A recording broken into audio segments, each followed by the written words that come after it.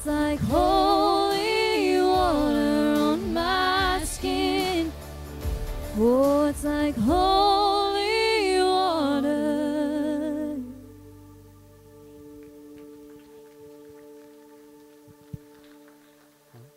Yep. All right, you may be seated.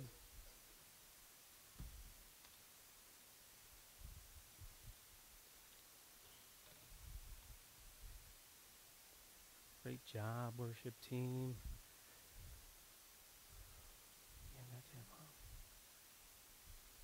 All right. Doing double duty today.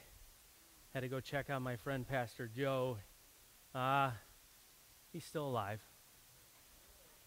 I think. Judging by the whimperings, I'm pretty sure he's still with us. Now, uh, my friend Cade back there stepping up and running the sound. How about a big round of applause for him? I absolutely love it when uh, when we're when we're thinned out because we're spread out. It's such an awesome problem to have. So that that is discipleship. So we have opportunities to get out and to serve in other ways, whether it be through concerts or music ministry or uh, pulpit supply, all those types of things. Uh, I just celebrate that. Such a huge, huge victory for the kingdom. Um, we have this Sunday and next Sunday are our last Sundays in Ephesians. We've studied through the entire book of Ephesians. If you miss any of those messages, they are on our YouTube channel. Uh, you can go to our website, sevillechurch.com, and look at all of those. Uh, then we'll take a uh, small reprieve and do some topical studies and then uh, jump into our next book. So looking forward to that. But uh, Ephesians chapter 6, verses 13 through 20 will be our focus scripture today. I'm going to share that with you, and then we will, um, I'll come back, we'll add some context, and we'll just uh, see what Paul is telling us here. But let me share that with you. Um, Ephesians chapter 6, starting in verse 13, says this Therefore, take up the whole armor of God that you may be able to withstand in the evil day.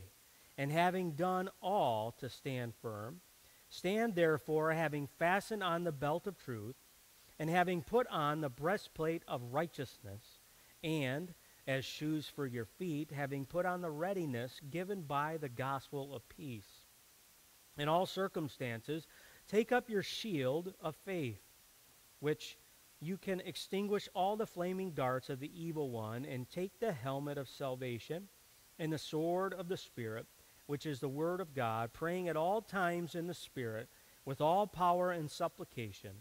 To that end, keep alert with all perseverance, making supplications for all saints and also for me, that words may be given to me in opening my mouth boldly to proclaim the mystery of the gospel for which I am an ambassador in chains, that I may declare it boldly as I ought to speak. May the Lord add his blessing to the scripture reading. Uh, we're going to uh, dive into that uh, just a verse at a time, but this is Paul writing a letter to the first century church and us about how we are to live as imitators of God. How, how does one live the Christian life? Well, Paul is telling us how to live the Christian life. Now, you remember he spent a considerable amount of time looking at those really, really important relationships husbands and wives, parents and children, masters and bondservants, or employees and employers, or leaderships and leader, leaders and followers. And then uh, last week we switched gears a little bit. That's how we are to live amongst one another. Now, how do we live amongst the world? And his response you better wear some armor. You, you better have some armor on. You want to be a Christian and you want to live the Christian life. You want to follow Jesus and be an imitator, which there is no not imitator. That's what following Jesus is, is you are called to build the kingdom. It doesn't matter if you're a gifted speaker or a musician. We are all called to build the kingdom. God didn't gift you so you could make a company millions of dollars, though you can use your gifts that way. That's not wrong, but you're primarily given that gift so that you could be a light to an otherwise dark world. And Paul reiterates that and reminds us of that. And then he tells us, uh, well, Christian, you're going to live in this world, you're going to need some armor. You need to put on the whole armor of God. Now, Paul, I, I got into that last week about putting on the armor of God, the call to put on the armor of God. Today, Paul's going to expound on that very idea of putting on the armor of God. What is he talking about, and what does that mean? Let's look at it a verse at a time. We'll start with verse 13. Therefore, take up the whole armor of God, that you may be able to withstand the ev- uh, withstand in the evil day, and having done all, to stand firm. Therefore, that is in light of the schemes of the devil. Last week we talked about the schemes of the devil.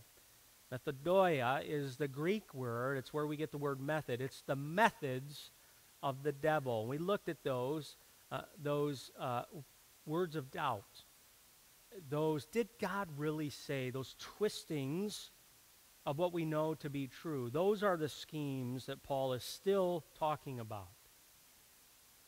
Therefore, in light of that, he says, put on the whole armor of God, all of it. Not wearing a portion of the armor makes it all useless. Paul is making an illustration of what's very common. If you looked out into the Roman landscape, remember he's in a prison and he would see Roman guards that would have their battle dress on, they would have their armor on, and he's taking what's common to the people and he's giving us an example that we may better understand what's required of us. And he says that you may be able, so this, this armor is necessary. It's not option. It's not optional. There's sometimes there's equipment that, that is optional and it can protect you and it can increase your chances of not being injured. I, I, I think back to my uh, life as a mechanic, and I remember uh, big safety pushes, and, and one of these uh, times where um, there was a yellow line painted on the shop floor, and if you were to go out into the shop floor, you had to have safety glasses on.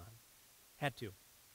You had to have safety glasses on, and you had to have steel-toed boots uh, to go out into the shop floor.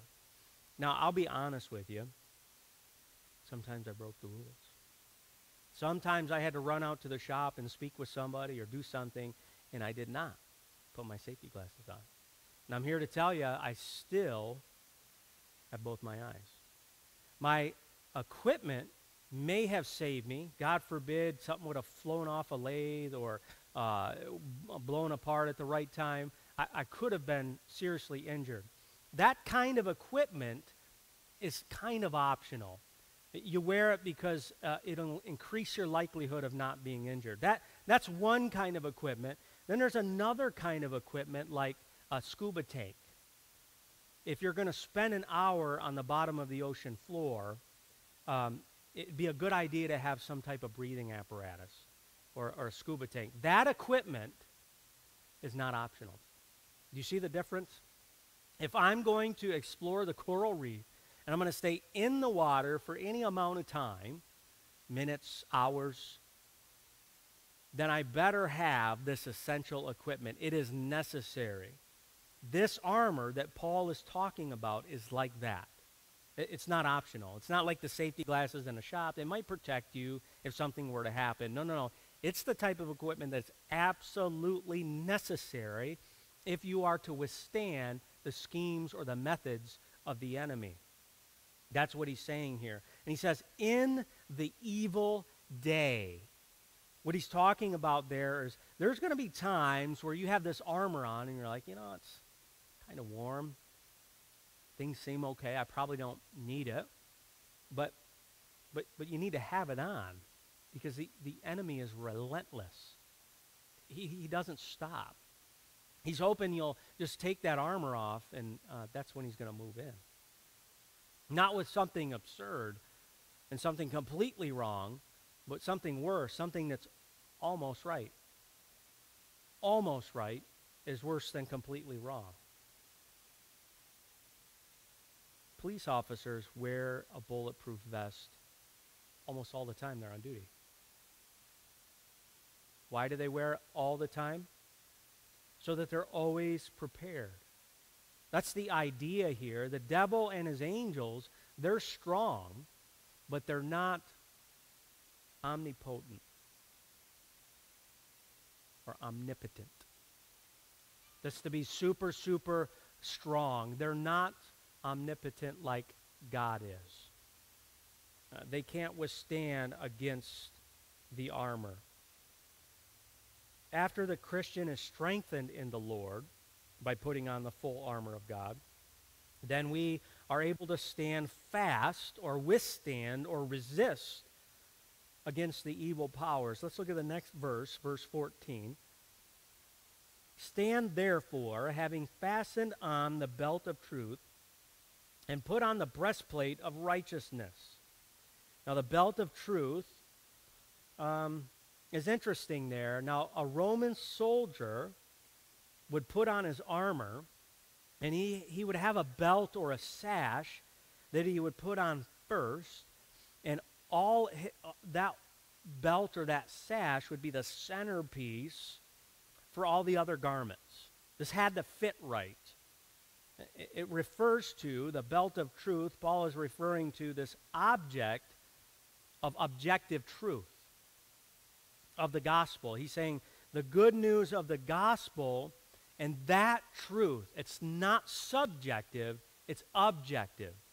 It's true whether you believe it or not. That is the foundation of our armor. Truth is the very foundation of our armor, and Paul's getting at that. It's super important.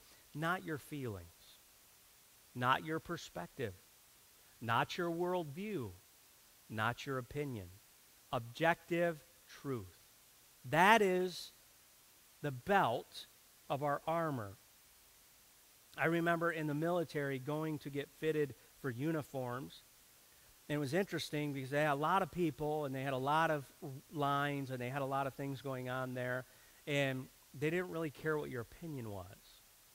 So I think I'm a, I probably need a large, and they, they didn't ask your opinion. They'd say, no, no, this is what you need because this is what fits. I don't like the fit it. I like, a, I like it a little more baggy. They, see, they didn't ask you that. it wasn't up to you. It basically, it fit this way. Everything rides on this belt of truth. I remember having a uh, pair of shorts. My wife and I were um, on a trip, and uh, I brought some shorts, and I knew the shorts were too big, but I brought them anyway. They were the only golf shorts that I had. And so we went to the pro shop because we, we were going to golf, and I got a belt, but they didn't have a belt that was quite small enough for me, and I like to think I'm bigger than I actually am. Uh, so I bought this belt anyway, knowing that it's probably a, an inch or two too big for me and I and I put it on, and the whole time I'm golfing, I gotta swing my club and then pull my pants up, and swing my club and, and pull my pants up and hold my pants up, trying to look cool in front of my wife still. It was ridiculous. It was absolutely ridiculous. I, I looked like a fool. Can you imagine living in a world where truth is subjective? and how you feel about it is the most important thing. How ridiculous is that? We're living in that world where, where, truth no longer matters. It's how I feel about something, how I identify as something, my opinion of something. And we look worse than me trying to hold my pants up on the golf course like a proper fitting belt, a soldier's belt or the, stat, the sash gave ease and freedom of movement. Man, when you got a we got a belt on and things work right, and or you got a tool belt or, or, or some type of equipment belt, man, when that thing fits right, you can run, you can move, you can bend over, you can climb ladders, you can go wherever you want. Freedom is from truth. When you wear the belt of truth, you have that kind of freedom to move around in this world. What a great visual Paul uses. And then he says, breastplate of righteousness. The breastplate protects our hearts, our vital organs. He's talking about this idea of sanctification. Now, when you become a believer, uh, you are sanctified instantaneously. Sanctified is just a, a real fancy word to mean set apart. It's what holy means. so when you become a believer in Christ, you are automatically and instantaneously sanctified. You are set apart for God. However, he's not done changing you. So even though that you are instantaneously set apart, you are a work in progress. How many of you are a work in progress? Yeah. Yeah, all of us. We're all a work in progress. So we're followers of Christ. We have been set apart. But we all know that uh, he's not finished with me yet. And there's still a lot of work to do in my heart, in my life. And, and um, because of that, I need to protect my vitals. I need to protect my heart. I need to protect the things that, if we're damaged, would lead to death.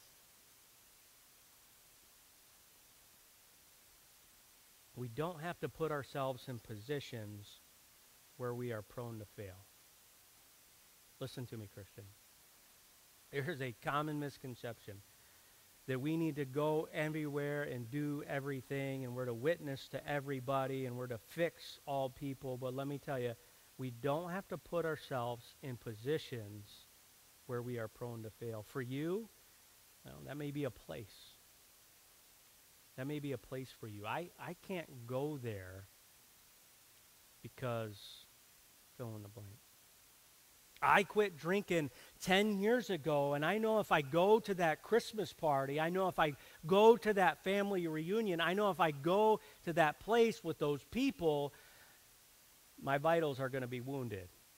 Well, Christian, for you, your breastplate is not going. Maybe that's a person for you. Maybe that's a person for you to, to protect your vitals, to be sanctified. Hey, I, I can't be around that person. I want to love them, but every time I'm with them, I just find myself sinning because I just can't stand to be around them.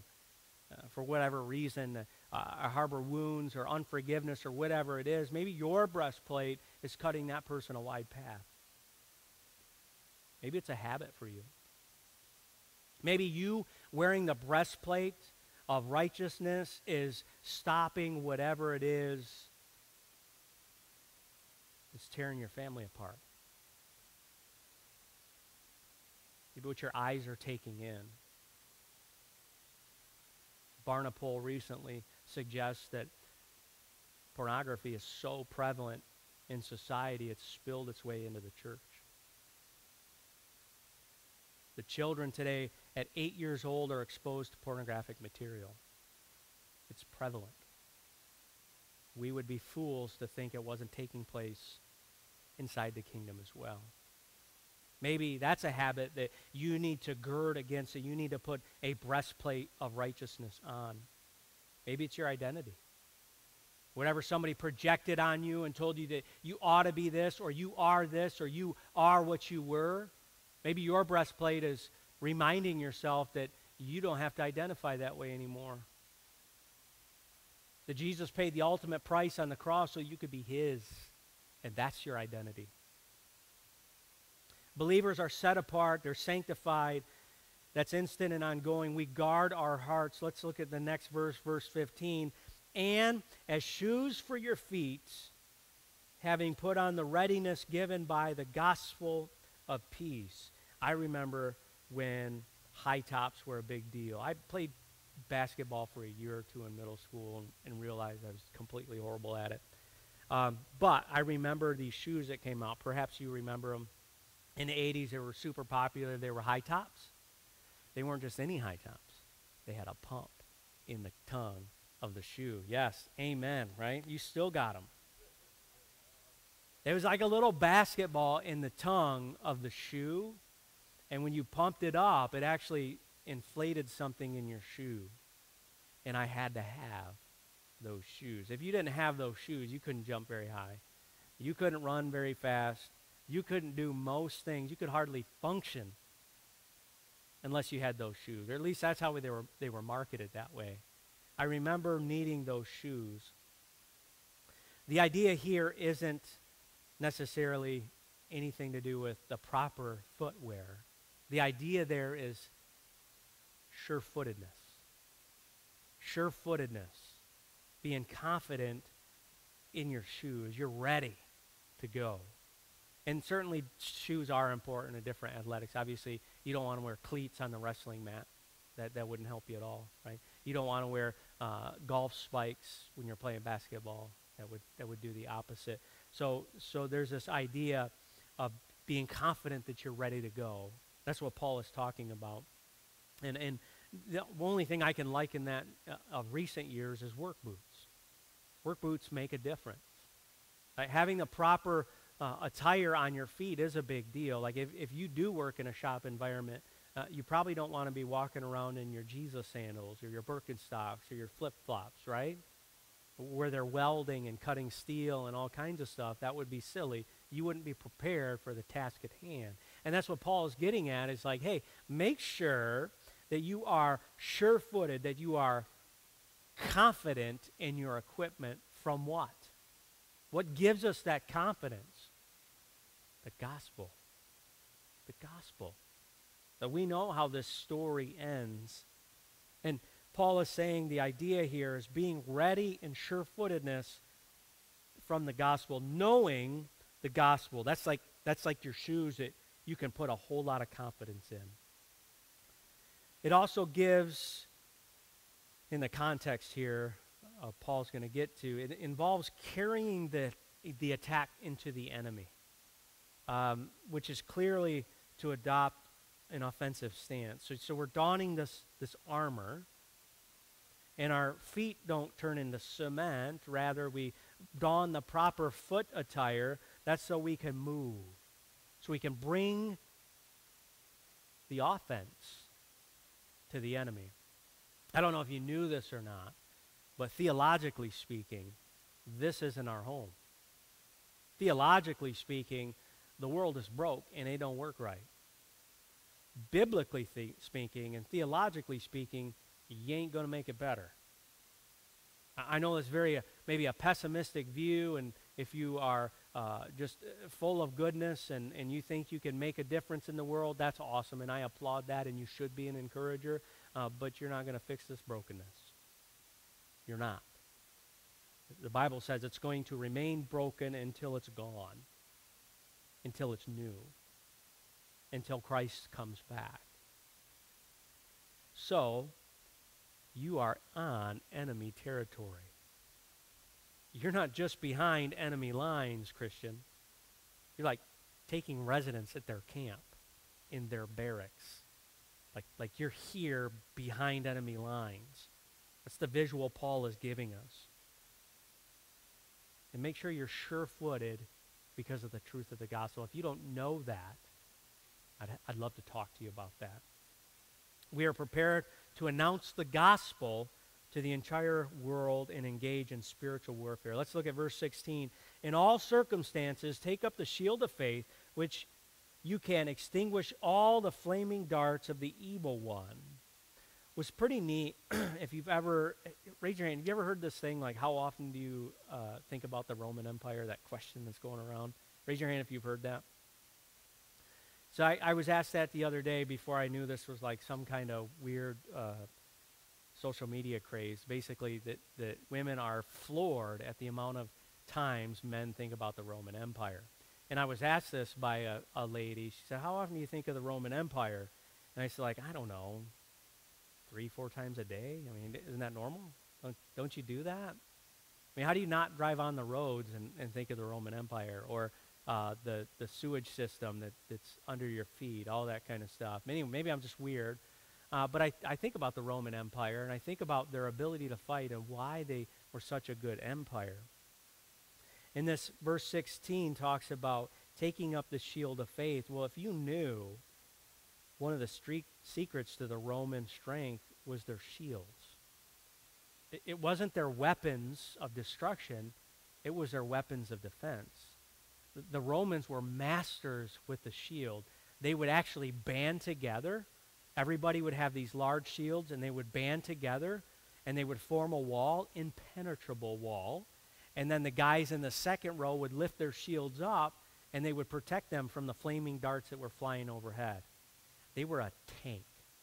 They literally turned into it. It was a, it was a mobile army, but with their shields, they were almost unstoppable.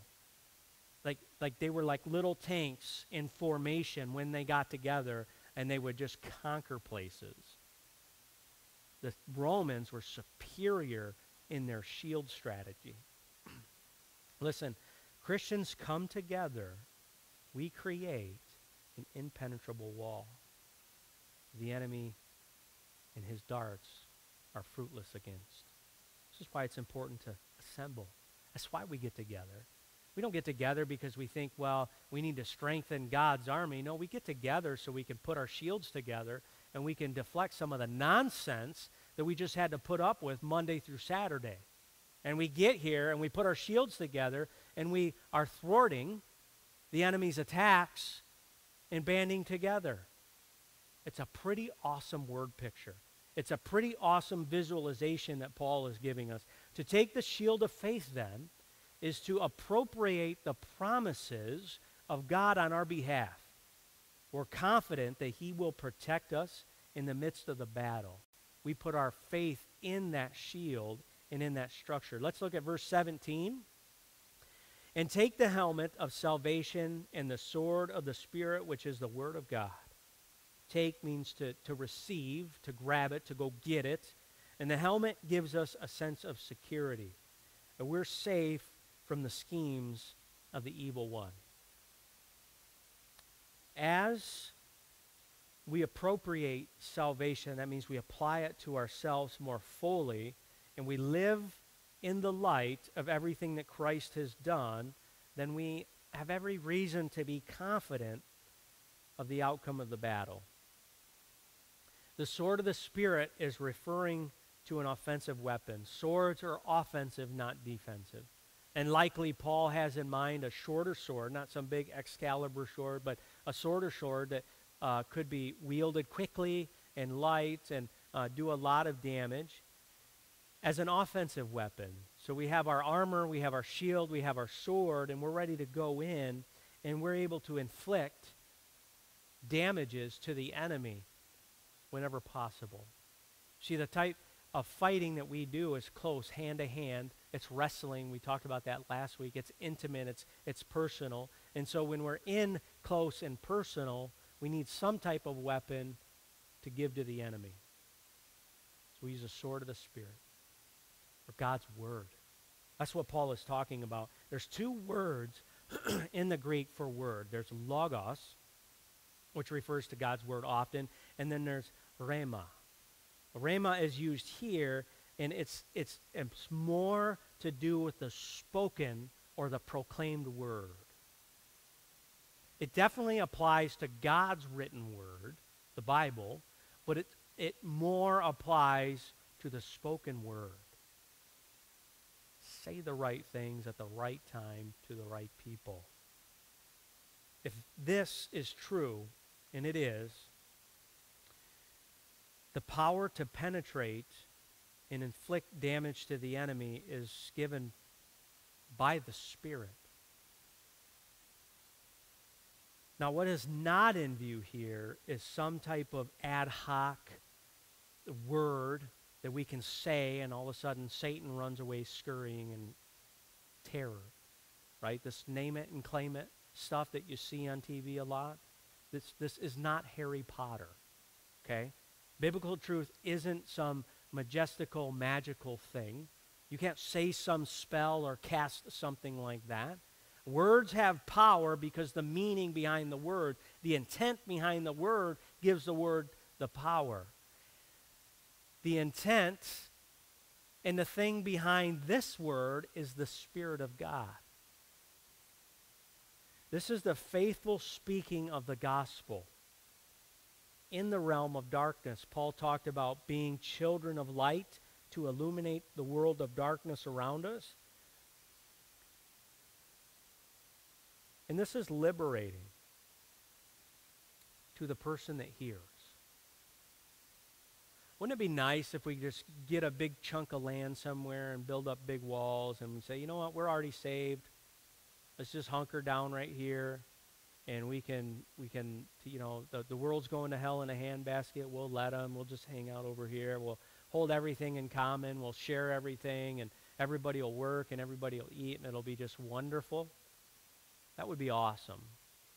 But then we neglect this that you speaking the gospel may cause somebody to be freed in their bondage of Satan. That's your job, to free the captives. You go out and you proclaim the gospel not only for yourself and be reminded of yourself, but because God chose to illuminate the otherwise unknowing world through you. He revealed himself through you. So you could put the good news to your feet and take it out into the world. Let's look at verse 18. Praying at all times in the Spirit with all power and supplication. To that end, keep alert with all perseverance, making supplication for all the saints. Again, making supplication for, for all saints. We say the gospel, we remind ourselves of the gospel, not only for ourselves and the reminder there, but to uh, loose the captives as well. Prayer is given the greater prominence within the context of this battle.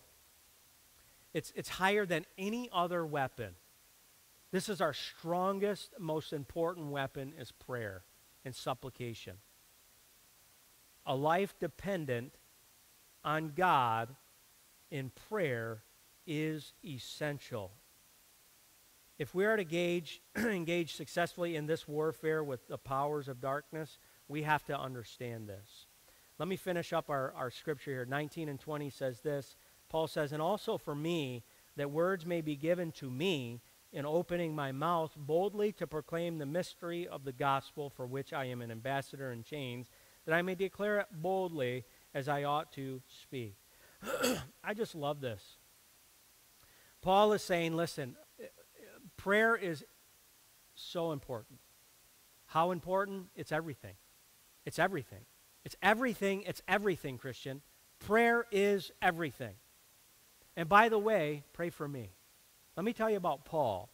Paul went to be from the biggest persecutor of the faith to the biggest evangelical the world has ever known. He's literally writing this because he was arrested and put in prison. Why? For proclaiming that Jesus is who he says he is. And he needs prayer. He asked his people, the followers of Christ, to pray for him as well. How important is that? He desires that in the midst of his imprisonment, that he may be given utterance uh, to proclaim the good news. He's not saying, hey, um, could you pray for me? Uh, the, the lunch here is really, really bad, and I'm wrongly accused, uh, and it's just very terrible. Uh, I've been put in prison against my will, and it's just this terrible travesty of justice. He doesn't say that. He said, Man, my life stinks right now. Would you pray that I'm able to continue God's mission? And how, how encouraging is that? He's not saying, hey, would you pray to get me out of here? Would, you, would you help me get out of this? Would you bust the chains? He's coveting their prayers. He's asking for their prayers. And his prayer is, hey, would you um, pray that I stay strong and I continue to preach the gospel in the midst of all this darkness to these Roman guards that are guarding me? Maybe they would come to know Jesus because I had the strength and the courage to, to deliver the gospel? Is that how we pray for each other, folks? Do we do that? How is your prayer life? I'm asking you to really reflect on this. How is your prayer life? If you're like me, you get distracted. If you're like me, you get too busy. If you're like me, maybe you, maybe you, you cry out to God when it's a cry. If you're like me, that that's when you go and you rub the lamp and, and try to get God to answer your prayers or just hear your voice because somebody got sick or finances are running low or you're having relational issues with somebody in your life. It ought not be. We should wear the armor of God all the time. When we come together and pray for one another, we should lift up each other in prayer. So I want to take a little bit of time today. We have five minutes left of the service. This what I'm going to ask you to do is uh, when I say go, I want you to get up and I want you to sit by somebody that you don't really know. Okay? It's okay. This is a safe place. And I'm going have, I'm going to have you ask a question. You're going to take turns. This is a partnership. I want you to do this. Sit next to that person who's a believer and say, How can I pray for you? What's one thing I can pray for you right now? And you don't know them. You don't have to. You don't have to know their situation. You don't have to know anything about their circumstances. All you need to know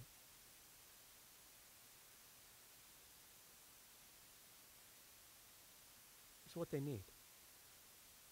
That's it. So I want you to ask a question How can I pray for you? Whatever the need is, felt need, not, it's not ours to judge, whatever that is, I, I want you to go to God and pray for that. Just quickly. And then, guess what's going to happen? Going to switch.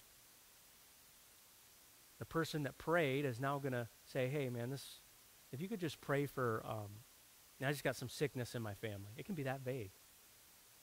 Uh, I've just been really struggling lately. It could be that. It could be, you know, I'm just happy. I just want to praise God. I just want to thank Him for all the joys in my life. It could be that too. But we are required to do this, church. We are required to do this. We, not only do we pray for our leadership, we pray for our church, we pray for those people in power, we pray for that, but we're required to do this. So let's take a moment and do that uh, right now. So find a partner. I'll give you 10 seconds. Ready? One, two, three, go. 10, 9, 8. All right. Ladies and gentlemen, this is spiritual warfare that you're partaking in in this moment. Paul describes it as warfare. Listen, the gates of hell shudder when Christians come together and they bear one another's burdens when they praise each other and they celebrate the things that are worth celebrating. May this be a place that you come and be equipped to engage in this type of battle. Sharpen your swords by reading God's word. Don his armor. Remind yourself to wear the belt and the breastplate and be steadfast with your shoes because you know the truth of the gospel. You know how this ends. Take up the shield and the sword and band together.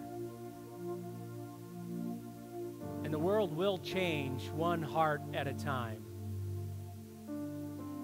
Let's pray. Father, thank you so much for the opportunity just to gather here. Father, we are ready to engage in spiritual warfare. Thank you for the illumination, knowing that this is how we fight. We fight these battles on our knees. We follow you into the uh, uh, battles, and you go before us. We're strengthened and comforted in that. Give us the strength to be in your army.